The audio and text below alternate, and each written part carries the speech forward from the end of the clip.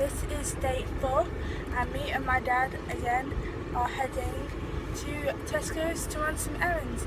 So yeah, I will see you when we get back.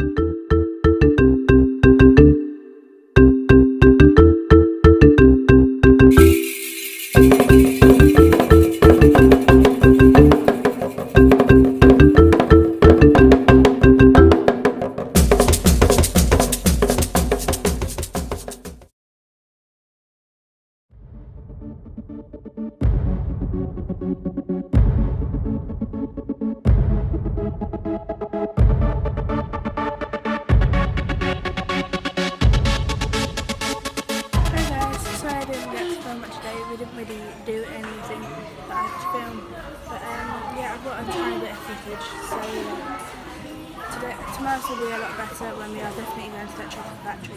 So until then, I will see you later.